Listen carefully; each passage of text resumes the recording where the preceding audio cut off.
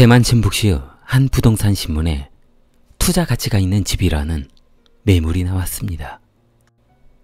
방 3개, 거실 하나, 그리고 화장실과 부엌이 있습니다. 일반적인 이 아파트의 시세는 6억 8천입니다. 그러나 부동산 신문에 급매물로 나온 이 아파트는 3억 2천에 나왔습니다. 얼마나 많은 사람이 인터넷에서 조회를 했는지 최다 조회수를 기록할 정도였습니다. 그것뿐이 아니었습니다. 3억 2천도 전액 은행 대출이 가능해서 그냥 계약만 하면 모든 것이 끝이라고 했습니다. 신북 씨의 집이 필요했던 장모 씨가 부동산에 전화를 했습니다. 에, 부동산이죠? 이게 진짜 3억 2천이 맞는 겁니까? 나중에 뭐 가격이 잘못됐네, 영이 차 하나 차 뒤에서 빠졌네, 뭐 이런 소리 하고 그러는 거 아니죠? 아이, 그럼요. 우리가 그런 실수할 리가 있겠습니까? 그 가격이 맞습니다. 장모 씨는 돈 한 푼 안 들이고 집 얻을 생각에 신이 났습니다. 이참에 바로 예약 날짜를 잡고 계약하고 싶어졌습니다. 장모 씨는 일단 궁금한 것이 있어 물어볼 것은 물어봐야겠다며 몇 가지 물었습니다. 일단 제가 한번 가서 보고, 뭐 물건에 하자가 있는지 실물을 보고 확인 한번 해보고 싶은데요. 당연히 그래야겠죠. 그런데 구매하시겠다는 분들이 워낙 많아서 빨리 결정해 주셔야 합니다. 계약금을 먼저 거시는 분이 임장건 아시죠? 장모 씨는 다급해졌습니다. 계약금이 얼마냐며 물었습니다. 내일 오전 일찍 제가 그 아파트 입구로 갈 테니까 거기서 만납시다. 부동산은 장모 씨와 약속 시간을 정한 뒤 저, 저기 서, 선생님 한 가지 알고 있으셔야 할 게 있는데요. 뭡니까? 그, 그 집의 두 번째 방에 조그만 언덕이 하나 있습니다. 뭐, 언덕이라기보다는 뭐, 봉우리요. 봉우리, 뭐, 뭐라고 말씀드리기는 뭐, 하여튼, 그런 게 하나 있습니다. 뭐 다른 곳은 아무 이상이 없고요. 신축이라서 지은 지 몇 년 되지도 않습니다. 파시는 분도 두배 차익을 보셨어요. 부동산은 통화가 끝날 무렵 매듭이 시원치 않은 내용을 설명하며 끊으려 했습니다. 뭐 조금 하자가 있으면 어떻습니까? 워낙 싸서 급한 대로 살면 되죠. 어, 살, 내일 봅시다. 두 사람은 매물로 나온 아파트에 들어갔습니다. 현관문을 열고 들어가 집안 구석구석을 보았는데 장 씨는 너무 만족했습니다. 집안 분위기며 이 정도면 장 씨 가족이 지내기에 충분할 것 같았습니다. 장 씨는 구매하려는 마음의 정리를 한 뒤 선생님, 그 언덕이 있다는 그 방 어디입니까? 야, 한번 봅시다. 부동산은 두 번째 방문을 열어주었습니다. 두 번째 방문의 손잡이 위에는 자물쇠를 서너 개 채워놓은 것 같은 못자국이 선명했습니다. 어림잡아 네 개 정도 자물쇠를 채워둔 것 같은데 장 씨는 검지 손가락으로 두째 빵 못자국을 만지며 혼잣말했습니다. 어, 이 게 뭐지? 뭔데 자물쇠를 이렇게 많이 잠겼지? 그때 사장님! 장씨는 정신 차리는 듯 고개를 흔들며 에, 장씨는 방 안으로 들어갔습니다. 이쪽입니다. 장씨는 방문의 못자국도 이상했지만 시멘트로 방 한쪽에 상당히 큰 언덕이 있는 것에 너무 신기했습니다. 장 씨는 방 안 언덕에 쪼그리고 앉아 시멘트 언덕 자리를 쓰다듬어 봤습니다. 이, 이, 이게, 이게 뭐예요? 잠시 뒤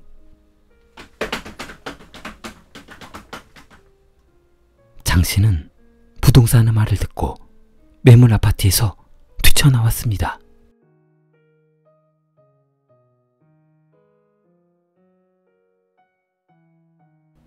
대표는 여직원 슈에펑을 찾았습니다. 전 대리, 시들이 오늘도 출근 안 했나? 대표는 3일째 출근하지 않는 여직원 슈에펑의 결근을 이상하게 생각했습니다. 슈에펑은 18살부터 지금까지 단 한 번도 무단 결근을 한 적이 없었기 때문입니다. 그녀의 성실함을 알기에 대표는 그녀에 대한 직원으로서의 애정이 남달랐습니다. 대표가 슈에펑의 소소한 선물을 사들고 집에 방문했습니다. 대표가 초인종을 누르자 슈에펑 오빠로 보이는 남자가 현관문을 살짝 열었습니다. 안녕하십니까. 슈에펑이 근무하고 있는 회사 대표입니다. 혹시 슈에펑이 어디에 아프기라도 한 건 아닌가 해서 걱정이 돼서 와봤습니다. 현관 문틈으로 눈만 내밀고 바라보던 오빠는 현관문을 열었습니다. 슈에펑은 대만 마라톤 대회 참가한다고 얼마 전 떠났는데요. 아, 그래요. 제가 전화를 한 40통 했는데 안 받더라고요. 대표는 이상한 생각이 들었습니다. 급하게 인사 후 아파트에서 주차장으로 내려왔습니다. 다음날 대표는 광화경찰서에 실종사건 신고를 접수했습니다.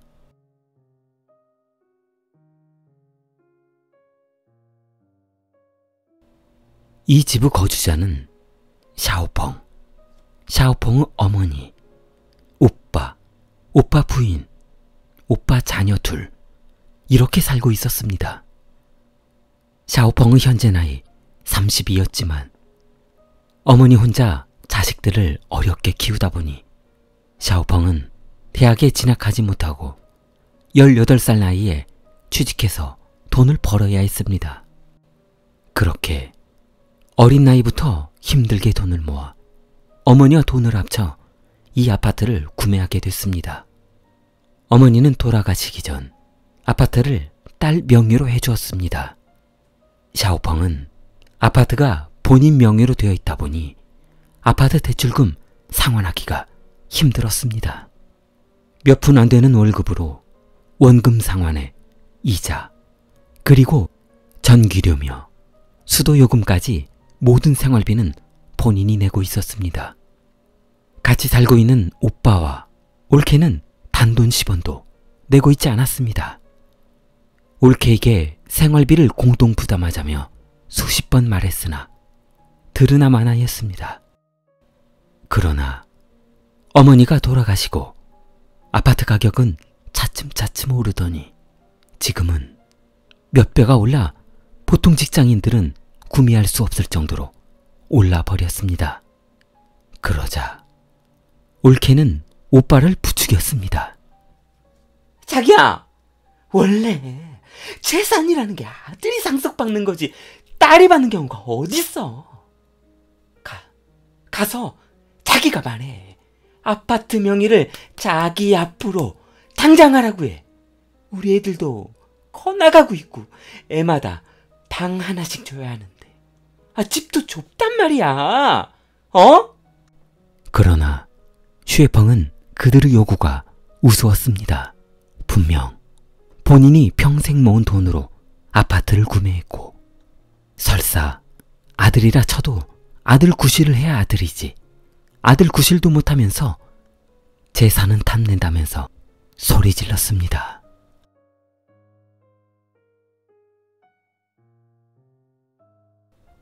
올케는 냉장고 문을 힘껏 닫았습니다. 냉장고 문 소리는 물건이 터지는 듯한 소리가 났고 슈에펑은 올케에게 냉장고를 살살 닫으라며 소리쳤습니다. 냉장고 좀 살살 닫아요. 어, 이거 혼자 살아요? 그러다 냉장고 고장나면 누구 돈으로 살 건데요? 올케는 올컨이 잘 걸렸다며 손가락질했습니다. 야, 어, 그래. 나 혼자 산다, 왜? 니녀는 애인이랑 같이 살아서 좋겠다. 슈에펑은 황당해하며 올케 앞으로 달려갔습니다. 야, 너 뭐라고 했어? 올케는 당연히 할 말을 했다는 듯 눈을 부릅떴습니다. 내가 뭐 틀린 말 했어? 네 년놈들을 내가 모를 줄 알았어? 내 딸이 다 봤어. 네 년놈들. 나만 없으면 그저거리 하는 거 다 봤다고. 슈에펑은 한 발도 물러서지 않고 맞섰습니다. 사실 슈에펑 어머니는 재혼했었습니다. 재혼 후 슈에펑을 낳았습니다. 슈에펑 아버지는 본부인에게서 낳은 아들이 있었는데 그 아들은 지금은 오빠였습니다.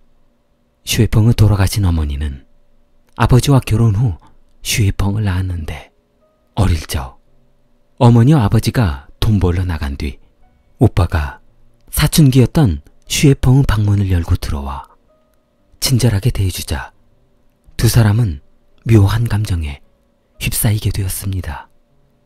그 뒤로 슈에펑은 시집도 못 가고 저렇게 혼자 살고 있습니다. 아무것도 모를 것 같았던 여섯 살 올케의 딸은 엄마가 없을 때마다 아빠가 고모방에 들어가 문을 잠그고 한참을 있다는 것을 이상하게 생각했습니다. 그리고 딸은 엄마한테 말했던 것입니다. 그날 저녁 슈에펑은 냉장고에 메모를 남겼습니다. 이 제발 냉장고 문 좀 살살 닫읍시다. 혼자 사는 곳이 아니에요. 올케는 그날 저녁 부엌에서 슈에펑을 밀쳤습니다. 슈에펑은 식탁 모서리에 어깨를 부딪혔고 병원으로 치료를 받으러 갔습니다. 멍자국 사진을 보여주며 서러웠던 내용을 친구들에게 톡으로 하소연했습니다.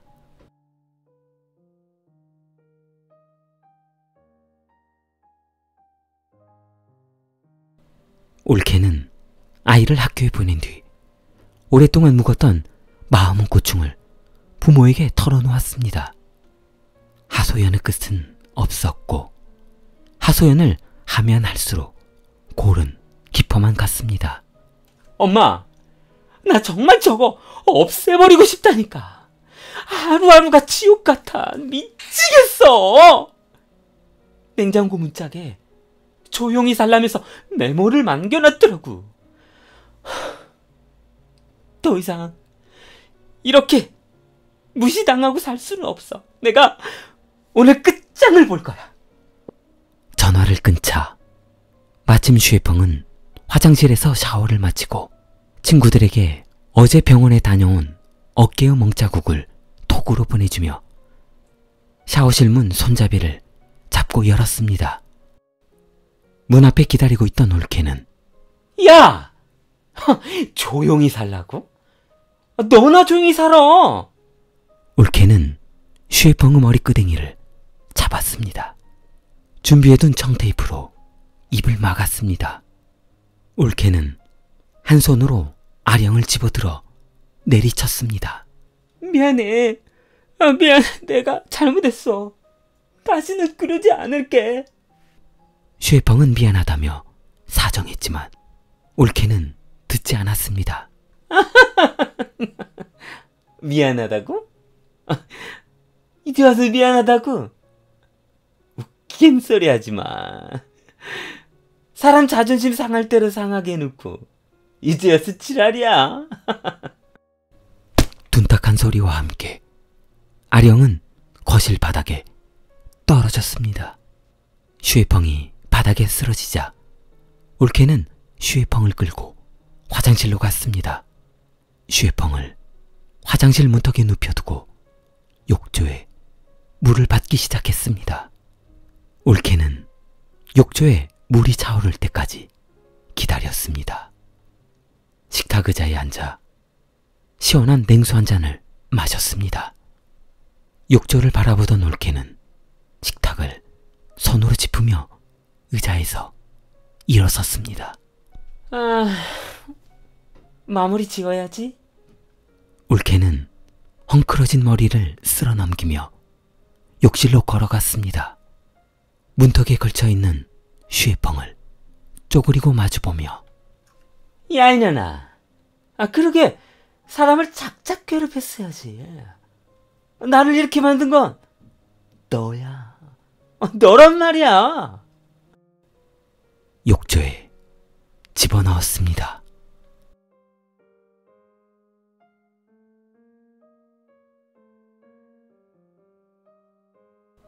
집안은 고요해졌습니다. 올케는 널브러져 있는 슈에펑을 한참을 바라봤습니다. 산에 버리면 분명 발견될 것이고 그렇다고 강이나 바다에 버리자니 모험인 것 같고 무언가 결정한 듯 올케는 안방으로 들어가 지갑을 챙겼습니다. 자전거를 타고 한참을 달려 철물점에 멈췄습니다. 아저씨, 시멘트 15봉지만 주세요. 철물점 주인은 이 무거운 시멘트를 자전거에 싣고 갈 수 없다며 아가씨, 이거 시멘트가 상당히 무거워요. 어, 자전거로는 싣기 힘들 텐데. 올케는 시멘트를 자전거 뒷좌석에 싣고 10여 번을 왕복했습니다. 올케는 슈에펑의 방바닥을 곡괭이로 내리 찍었습니다. 몇 번을 해봤으나 방바닥은 쉽게 파지지 않았습니다. 그녀는 그녀 방바닥 모서리 위에 슈에펑을 올려놨습니다. 그 위에 시멘트 반죽을 덮기 시작했습니다. 시멘트 반죽으로 한참을 쌓았지만 어림도 없었습니다. 아, 이거 뭐야? 아, 시멘트가 한참 부족하잖아. 아, 또 갔다 와야겠네. 그 뒤로 수십 번 시멘트를 날랐습니다. 4kg짜리 시멘트 21개를 반죽했습니다. 슈에펑의 두 번째 방 침대 자리에는 볼록하게 튀어나온 언덕이 생겨났습니다.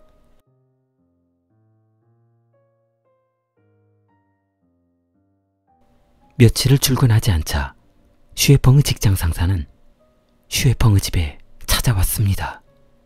40여 통을 전화했으나 받지 않자 경찰에 신고했습니다. 경찰은 슈에펑의 집 앞에서 초인종을 눌렀습니다. 슈에펑 씨, 집에 있습니까? 슈에펑의 오빠는 경찰을 보자 너무 놀랐습니다. 마라톤 대회 나간다고 며칠 동안 집에 안 들어왔는데요. 오빠가 현관문을 열지 않고 현관문 틈 사이로 말을 하자 경찰은 의심했습니다. 아, 선생님, 아, 잠시 문 좀 열어주시죠. 집안을 좀 봐야겠습니다. 오빠는 한참을 망설이다 현관문을 열어주었습니다. 집 안에 들어선 경찰은 거실이며 부엌, 안방을 둘러보고는 별 이상한 점을 찾지 못했습니다.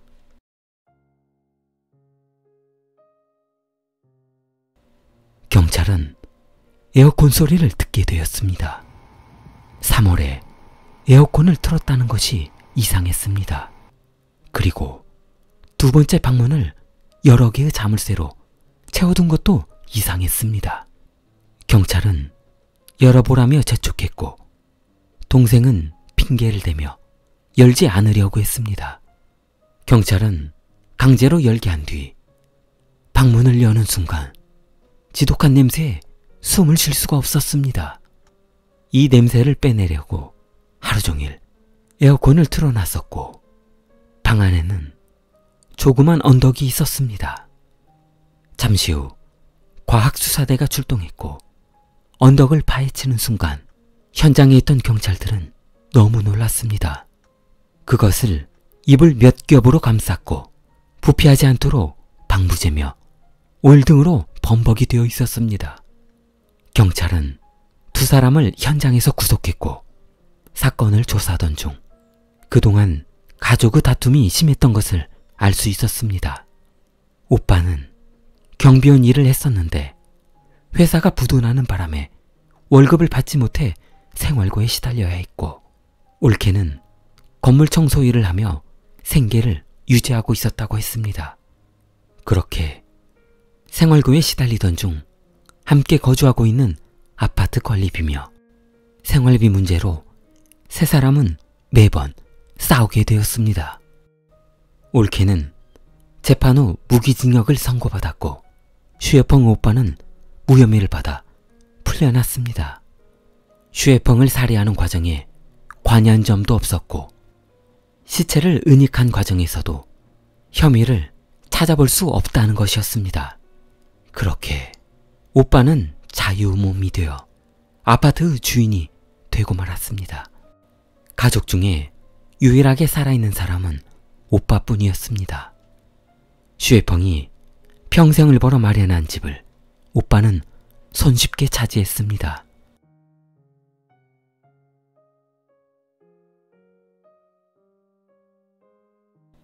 그렇게 동생 재산을 상속받은 오빠는 부동산에 급매물로 처리해서 돈을 수중에 넣었습니다. 충격적인 사실은 이것만이 아니었습니다. 슈에펑이 죽으면서 수많은 보험금이 오빠에게 지급되었다는 것입니다. 유일한 혈육이었기 때문입니다. 슈에펑 오빠는 아파트며 동생의 보험금, 슈에펑 통장의 잔액 등 모든 재산을 소유하게 되었습니다. 좋아요, 구독 부탁합니다. 킬리였습니다.